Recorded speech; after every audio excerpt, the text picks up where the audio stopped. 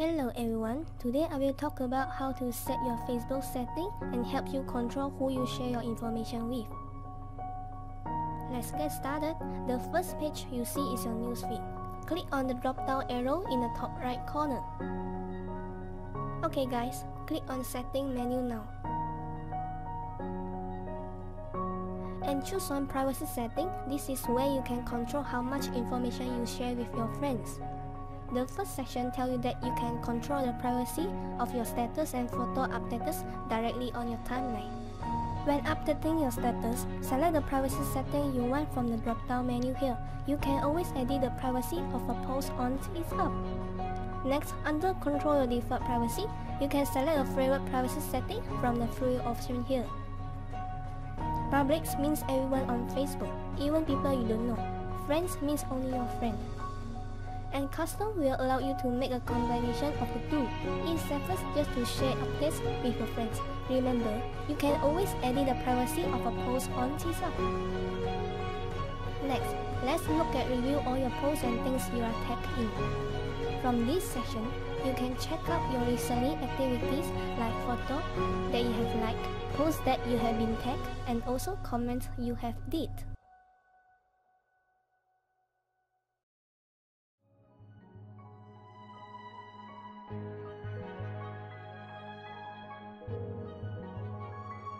Next, who can contact me? Here you can control who can find your profile in Facebook search, send you friend requests, send you Facebook message, post to your wall, and see wall posts by others on your wall. It's okay to select friends to friend. You need to pick the setting you feel most comfortable with. Remember, it's not safe to accept friend requests or respond to message from people you do not know in real life. It's okay to say no. Let's look at security.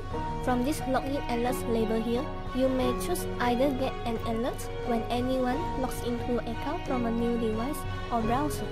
It is greater to select don't if you are an alert person. Let's go to timeline and tagging setting. From this section, you can choose to let your friend post to your wall or not. You can also setting on take a look on what your friend posts on your timeline before it display out from this section. When it comes to who can see things on my timeline, you can click on View As button on the right hand side to check out how others see on your timeline. Here is an example after you click on View As button.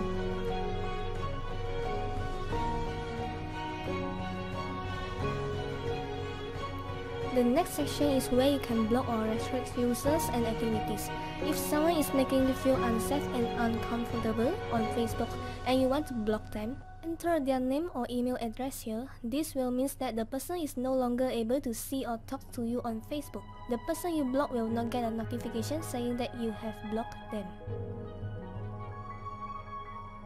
After you click in block button, there are many similar outcome of the name you type list out from here. So double confirm and click on the person you want to block on here. Example, click on block Madana button.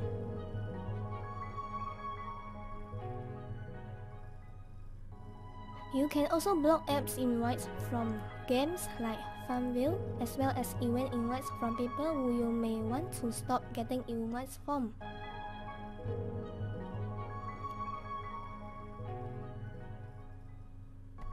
Facebook can be a fun place to connect and share with your friends. You can be safe online by setting up some safe settings to protect yourself and your friends. Double check your settings often because Facebook can change things. Thanks for watching. Have a good day.